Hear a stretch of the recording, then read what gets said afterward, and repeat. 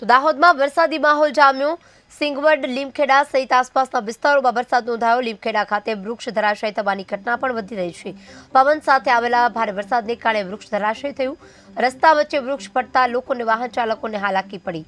તો વિસ્તારના લોકોની મદદથી વૃક્ષ હટાવવાની કામગીરી પણ હાથ ધરવામાં આવી રહી છે